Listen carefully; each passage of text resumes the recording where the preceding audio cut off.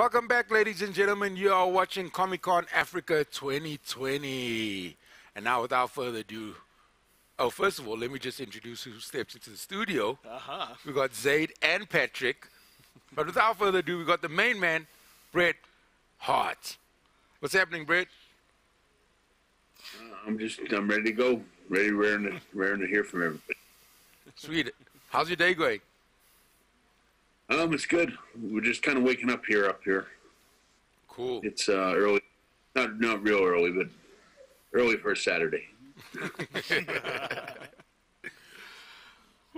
Ooh-wee. Okay, you know what, you know what, you know. I'm I know you're lie. excited. I, I am nervous. I am nervous because like my whole life I have been waiting to have the opportunity to have Bret the Hitman Hart give me one of the sunglasses. So Pat gave me one of them, but now Bret, I have two, two, one request and one question. The first request is when you visit us in South Africa, can you please put Patrick into a sharpshooter? Because he's been mean to me the whole day because I'm so excited. And of course, the main question I have to ask you is, of course, the excellence in ex- execution. That's who you are. The best there is, the best there was, the best there ever will be.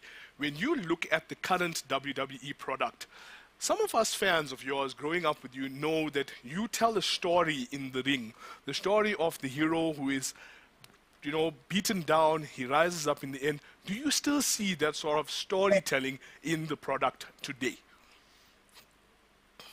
No, not at all. I mean, not not. I see great. Them. I see hard work, hard workers and stuff. They work really hard. They're, but they they they don't tell very good stories at all, in my opinion. There's something about um, the wrestling today that um, is is lacking. It's really lacking that. Um,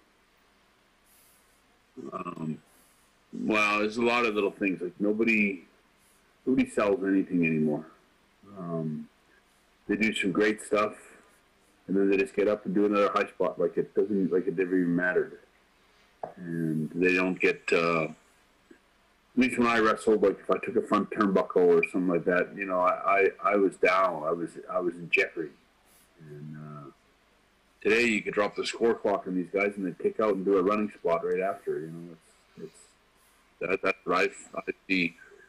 I think um, maybe that's maybe that's just the style today. I mean, I don't know. There's there's these these shows on TV where they have. Um, you know, they're more like uh, athletic contests where guys swing from a rope and then they got to climb a ladder and it's all being timed and stuff like that. And they got to run, jump 20 feet across a thing and they got to swing from a rope.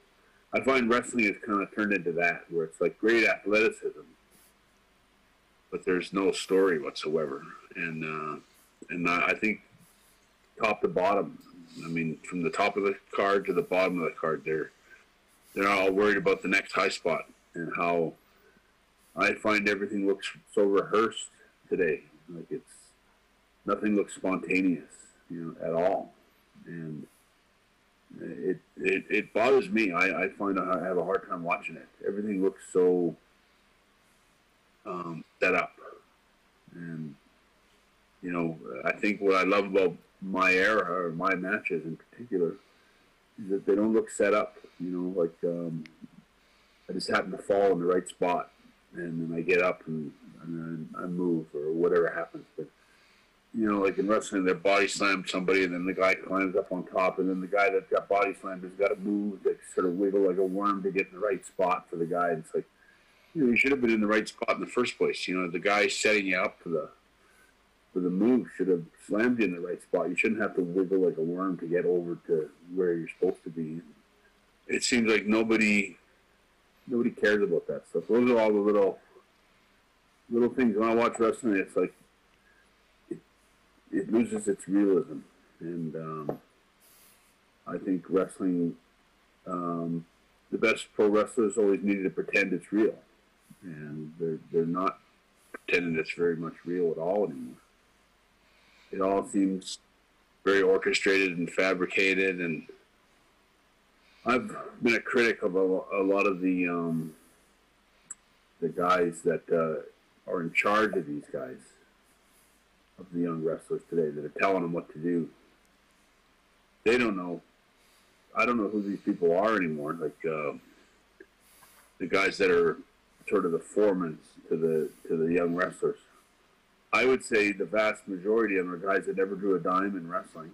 They were never big stars. They were middle card guys that uh, got hired on, and they're telling the wrestlers what to do today. When you know the truth is, they didn't know what to do themselves when they were wrestling, and now they're they're in charge or giving the orders or telling telling guys what to do when you know they're not very qualified. And I don't know where you get qualified wrestlers. Like I'm going to name names of guys that were great mentors, great teachers, but like Roddy Piper you know, was a great. You know, he could talk to you about what you needed to do in your match, and it made it would make a lot of sense to to a young wrestler. And I think I fit into that category where if I was going to help someone with their matches today, it would come off better. Um, name guys that they have because I don't even sure who they have anymore that are in, like the foremans or whatever, but I think they're called producers, which is these producers that are producing the wrestling and the guys that are writing the stories for the wrestling shows, the, the writers. They're all the, shits. I mean, in my opinion, they're the shit. They, they, they never knew anything about wrestling. They they're they turned wrestling into a sort of a fabricated soap opera of what they think wrestling is. But you have to be an experienced wrestler to really understand storytelling, psychology, and you know, like in my day, you know, back going back to the '80s, you know, um, like you start a match. I can remember taking an arm drag or something on somebody in the first few minutes of the match or a headlock and you sit there in the headlock, and every once in a while you hear the crowd start to boring, and they start kind of getting kind of like trying to push the, the the match faster, like you're not going quick enough, or I want more action. And I remember sitting there in the ring and going, nobody tells me how to wrestle. I'm the one entertaining you. I'm the one that's going to tell you how I wrestle. I'm not going to listen. and I would dismiss the the chance of boring and then I'd slowly start to build my match. And you know, I'm after a period of time, those boring chants would never they would they would shut up. So I've learned that and learned a long time ago that you never let the fans tell you how to wrestle. But it seems to me in today's wrestling that the fans, whatever they sort of do when they goose you to get, oh, I want more action, or I want the, the wrestler suddenly jumps up and starts giving you more action, and it's like, oh, we need to get going instead of um, trusting their own instinct and calling their own shots and building their match the way. I mean, I, I will say this much: is that when I wrestled, um, I always pictured myself sitting in the front row watching myself. Like I was a big fan, mm. and I would sit and study the matches and watch the matches. And I didn't like anyone messing with my story. Like I wanted to see the uh, whatever they were going to tell the story the wrestlers were going to tell was what I wanted to watch, and uh, especially if you have faith in the wrestler that you're that you're a fan of. And so I I've always whenever I wrestled in a big match that I, uh, my favorite matches through my career career whether it was you know, Undertaker or Steve Austin or whoever it was, I was in the front row in my head watching that match, and I would always kind of go, "This is a good match." Like I don't need anybody else to tell me. I, I'm watching wrestling since I was five years old, and understanding it and appreciating it. And you know, I think that the wrestlers today are not. A lot of them probably aren't fans or weren't fans growing up or don't seem to be. And there's not that much of a throwback to, to my generation. But I will say this: I think the '90s wrestling it was probably the best. I think it was the best. Absolutely. I have anybody, the generations that um, it's been 20 years now of wrestling since the 90s. Um, they're not as good. They don't tell as good of stories. They're not as fun to watch. And I have a hard time watching. Yep. Robbie, I think let's just jump straight into those fan questions. Yeah, we've got some fan questions for you, Bret. So Pat, while we're waiting for those, right? Yeah. Your best Bret match from the 90s is your best Bret match? Well, I've discussed this with Bret. It's definitely the Stone Cold Steve Austin one. oh, oh, when he, when, he, when he put the color on Stone Cold. Definitely. Oh, man, that was life changing. Robbie? he has a question for you. Um, which WWE wrestler of today would you want to have a wrestling match with? Um, uh, I think I would love to wrestle um, Randy Orton. Maybe would be a good one Yeah. for me. Good, uh, a really good wrestler. I, I, I, I love. Uh, I actually wouldn't mind wrestling Edge. Um, um, I love to wrestle Daniel Bryan. I think he's just, to me, he's one of the best. Maybe one of the greatest of all time. I also, um, I would love to have got in a match with uh, Brock Lesnar, just because I think he's a real uh, iconic heel, and would have been would have been a good match for me. And I think he's he's actually a really good wrestler. Um, not like Goldberg, um, where it's all hype and stuff like. I think uh, Brock is a is a real pro in the ring, um, and maybe. Um, um, maybe AJ Styles would be another one Yes. that, that I think would be really. Um, we would we could have had some great uh, matches together. Right. We have another question for you. You know, while we're waiting, about AJ Styles, recently what we saw he did with The Undertaker, I think that talks to what Bret was saying about wrestlers who can tell stories. So that, that tracks with me. Uh, Kelly's asking, uh, what what are your thoughts on the next generation of WWE wrestlers? They need to go. All of them need to go back, sit down, and just start watching the '90s wrestling. Uh,